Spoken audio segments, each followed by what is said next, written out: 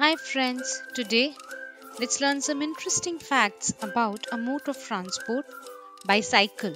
Transport or transportation is moving people or things from one place to another place. Transport can be by land, water, or air. Now, this is a bicycle.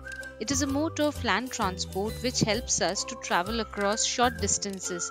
Bicycles are human powered vehicles, typically featuring pedals, a seat, two wheels, and a frame.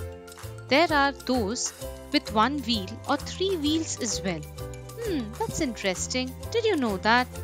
Bicycles are used for transport, recreation, competitive racing, courier delivery, and a range of other tasks. There are different types of bicycles like mountain bicycles, racing bicycles, urban bicycles, etc., depending on the purpose of using the bicycle. Thanks for watching.